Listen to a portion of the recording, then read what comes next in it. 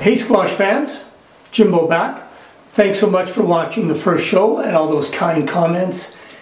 And I could not agree with you more. Molson was the perfect first guest to get us going. I mean, could you get any nicer than that guy? Wow. Anyway, we've got another great guest today. Not a bad day out there. It's about one degree above. So hey, let's go outdoors and talk. Oh yeah, let's go.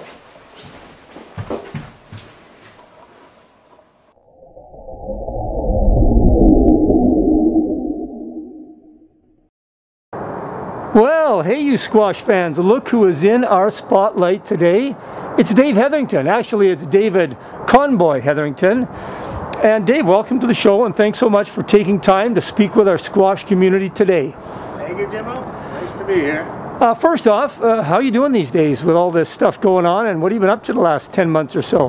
Well, I haven't been in the office. I've got a uh, third floor office up there. We've got uh, Virginia and Mike work uh, here at the home, so they're adult uh, guys working at home. Uh, Mike's got a small apartment with his girlfriend, so he's here, and uh, Rob's here, and so we uh, have a cocktail party every night. well, that sounds pretty good. Yeah. Well, if, if, you don't mind, uh, you know, for those people that don't know you, there's not many of those, but if you could give us a little bit of insight to your early life growing up, your education, family, career. Alrighty. Well, I grew up in Moore Park. Uh, went to Whitney Public School. Played a lot of baseball, hockey, all the good stuff there. And uh, then in grade seven, I went to UTS, and that's about the time I started playing badminton at the Granite Club. And uh, then uh, off to uh, university at Lakehead, where I majored in squash and hockey. and uh, then back to Toronto my first job was in the car leasing business with a fellow named Harold Somerville and had a good uh, good go there for about three or four years and then went into the brokerage business with Pitfield Mackay Ross which was bought by uh, Dominion Securities, now RBC. And then in uh, 1972 I joined Andrus Hatch and Hetherington which is the predecessor company to our current company, Mackie Research Capital. Well, so I'm in the brokerage business. Well done. And of course, most of us know your, your wonderful family. I had the pleasure of teaching your kids and your, your lovely wife, Kathy. And, you know, speaking of Kathy, you know, you haven't been playing squash for a bit of time now, and but we're wondering, you know, somehow, some way, you're always kind of front and center in all the tournaments. And we're wondering, like, how do you keep yourself so relevant in our game? Is it your delightful personality that Molson spoke of? Is it your past achievements and countless hours? Or maybe it is just because of your lovely wife, Kathy. That's probably because yeah. Kathy. I, okay. I would go with that. Okay, good. Good answer. okay, Dave, here we go. For our next segment, we're going to do a little rapid fire. I'm going to fire off a couple quick questions to you and you just answer whatever comes to your mind. So, you ready? Yep. Okay, here we go. Your best men's doubles partner. Best men's doubles partner. Well, I've had a lot of them and a lot of good ones. Um, I would probably say the most entertaining was Ian McAvity, and uh, probably because he used to go to uh, Kennedy Sports and buy about 12 Taiwanese bamboo rackets for 11.95, and uh, then he'd like to uh, say spin for serve, and he'd ask them whether they wanted a price tag or no price tag. anyway, Ian was always entertaining. Uh, I've been able to play with uh, good friends through the years, so Tom McCarthy early on, and uh, and the late Jay Gillespie, obviously. Of course. And uh, uh, Mike Manley and John Boynton. Yeah, Johnny B. Friends. Johnny B for sure. Okay, Johnny well, B, yeah. yeah, great names. Who was your greatest nemesis out there on the court? Probably Tom Poor. Yeah. Difficult to play, good player, good shooter, always a little bit in your way. Hmm. Yeah, okay. Rolling Stones or the Beatles? Oh, Beatles. Okay. Your favorite court to play on? Ooh, that's a good one. Um, I like the Badminton Racket Club, the wooden court. Oh, Always yeah. thought it was a great court. Um, had lots of fun down in Buffalo, though. Had some great tournaments down there. Lots of fun, lots of friends. So okay. A lot of great people. Well, those are two great courts you just mentioned for sure. Your best win? Best win, well, probably the Canadians with Jay. Uh, Jay Gillespie, that was his first win as a, uh, for a Canadian title, and then, as you know, he went on to win several more after that. Was that 82? Uh, 82. Yeah, I think so. Okay. And then with Mike Manley, uh, we beat uh, Sharif Khan and his cousin Gul. I'd never beaten one Khan, let alone two. so Wow, that ranks right up there. for sure. Nice ones. Who's your sports hero? Sports hero. That's a good one. How about uh, Aaron Rodgers? Aaron Rodgers. A whole big game coming up next week. Green Bay Packers. Oh, it's gonna gonna be a beauty. Uh, your favorite squash player to watch? Ooh, that's a good one. Uh, probably Mike Pierce. Uh, Mike was a great backhand player in doubles. Uh, great shooter, had fantastic shots. Actually made more winning shots off his forehand as he backed the players out. Was on the backhand, he'd switch over to that corner. Nobody could get it. Do you have a favorite female to watch, perhaps? Heather McKay. Oh boy, there you go. Can't beat that. Uh, okay, let's uh, let's get to the next question here. Your worst loss? Worst loss. Yeah, I know that one. that was Boynton and I in the first round of the Canadians. We were gone. Wow. Yeah. Did you actually show up to the dinner that weekend? We showed up to the dinner. We basically parceled ourselves off and wouldn't go anywhere. And if people wanted to give us a hard time. They had to come over to us. and then we had a very clever idea. Um, so instead of going to the brunch the next day at the club, we decided that we'd do it ourselves and uh, go down and have some Bloody Caesars at home and some shrimp and cocktails. And instead of spending 50 bucks for the lunch at the club, we spent about 150 and had a great time. So you licked your you licked your wounds in private there. Mr. Boynton and I. Alrighty. Okay, last question here for the rapid fire. If you were to pick a partner for the Century Tournament, which young star would you choose? Uh, gee, that's a good question. How about Jamie Nichols? Jamie Nichols. Oh, okay, I like that. He boy, he's a uh, he's a clutch player and a, a big time pro am player. Okay, Dave. Well, listen, thanks so much. Uh, let's take a, uh, a break here. We're going to move to the next segment. Okay, Dave. At this point. Okay, uh, here we go. We saw Molson last week breaking it down on the outdoor dance floor, and we received so many positive comments. Now, the obvious reason is he was just that good, but you know, it also reminded us how much we love tournaments for the social aspect you know, especially the Saturday night partay. You'd have the cocktail hour during some amazing semi-final matches, followed by a fabulous dinner, and then a live band and some dancing. So Dave, I'm hoping you can close your eyes right now and bring yourself back to 1982 when you and Jay Gillespie won the Canadian Dubs and were celebrating on the dance floor. Are you game for a dance? Sure. All right. Okay, wait for it.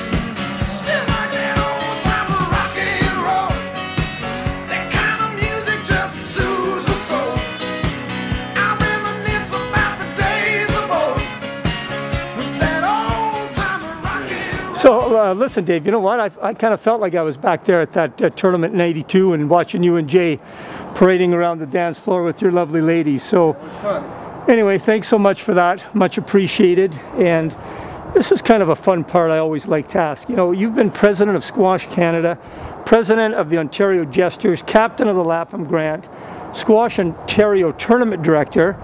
You're in the Granite Club Hall of Fame along with your dad. Earned multiple national titles. So I'd love to hear who was your inspiration to start you playing squash?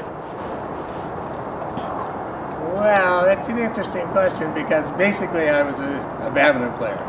And um, in the badminton, it was pretty difficult to get the older and better players to play you as a junior.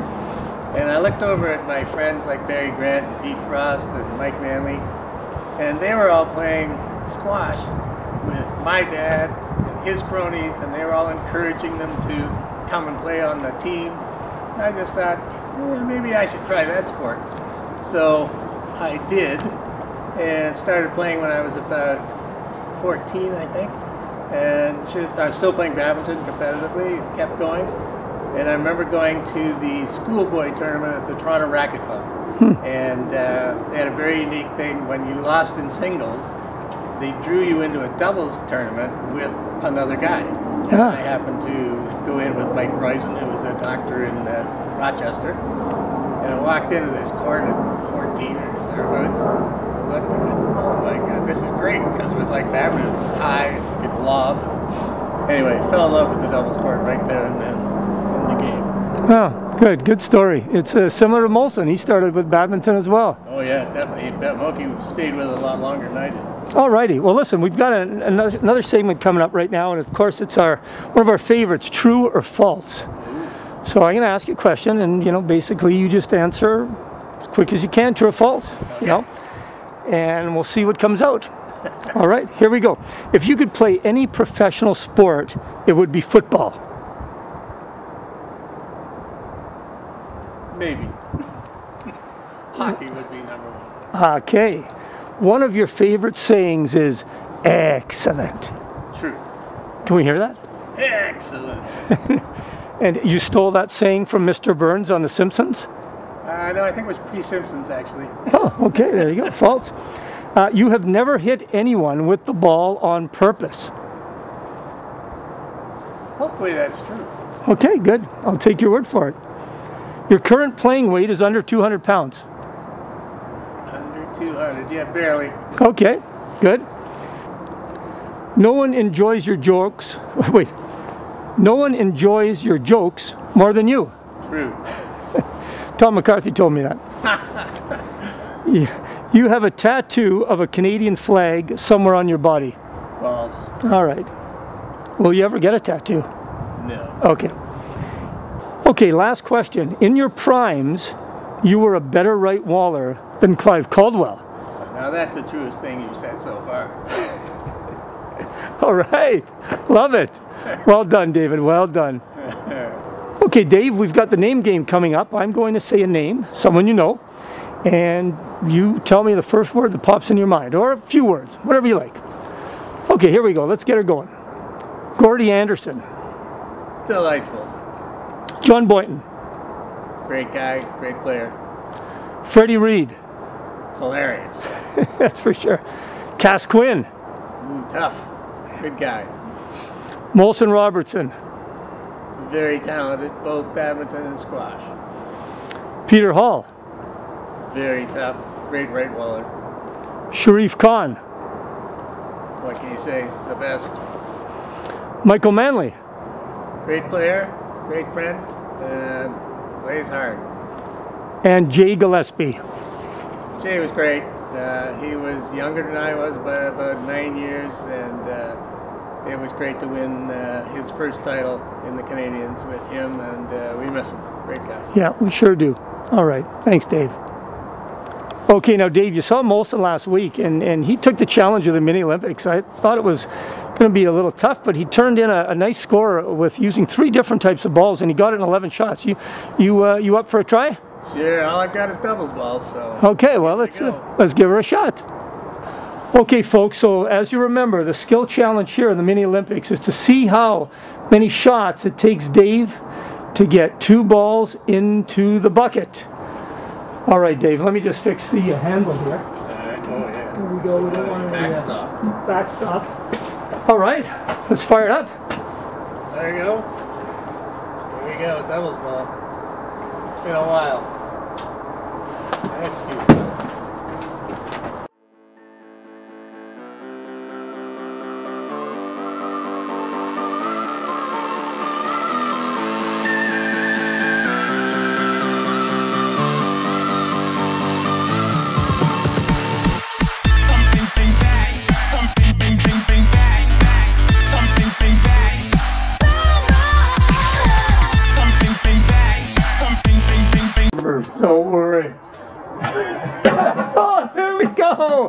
22. Woo! All right. Well done.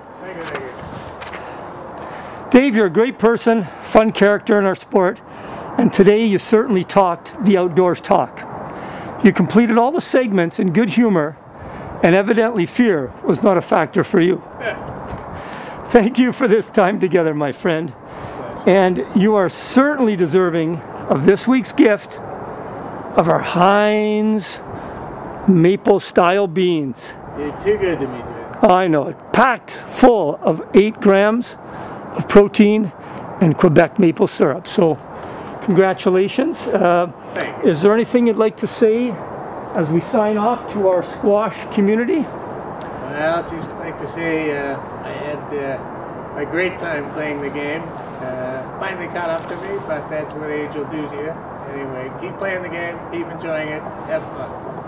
Okay, Dave, let's close out the show and say it together. Thanks for watching Squash Players Outdoors Outdoors. Talking. All right. Woo! Almost got it. well done, buddy. Well done. Thanks so much. All right. Well, give us a big virtual hug and take a bow. Thank you all. All right. How about a fist pump? Oh, yeah. All right. Well done, buddy. Well done.